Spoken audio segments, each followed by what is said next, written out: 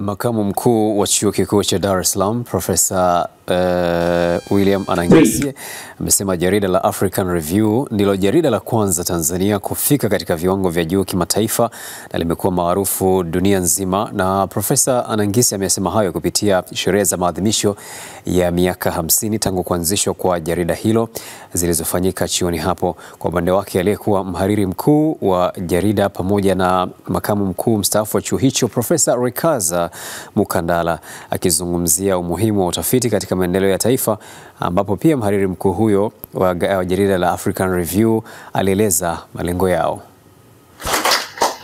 Lakini ndio jono au ni jarida ambalo kwa hapa chuo kikuu cha Dar es Salaam linaongoza kwa kuwa na viwango vya kimataifa, kwamba yani, yani kwa umaarufu wake na kujulikana kwake uh, kunapita karibu maj, uh, majarida mengi katika nchi yetu yatambuliwa na, na, na, na database ambazo ni za ngazi za juu ya, viwango vya, juu, na pia kitu kingine ni kwamba mijono ambayo inapokea uh, ina, inapokea makara uh, kutoka uh, duniani kote wanaotaka uh, kuchapa yani makala zao zi, uh, zi, zi, zionekane kwenye jarida hili la Africa Review.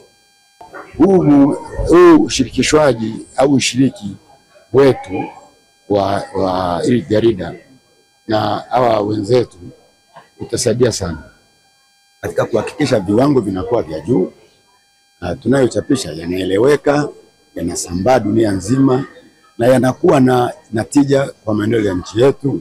Chuo chetu kinazidi kufahamika, wa, wa, watafiti wetu wanajulikana. Huko mbeleni kabisa, matarajio yetu ni kwamba tunataka kuwepo katika majarida kumi bora yanayochapisha masuala ya Afrika, basi tuwe mojawapo. Kwa hicho ni kipindi tumekadiria cha miaka mitano kutokea sasa.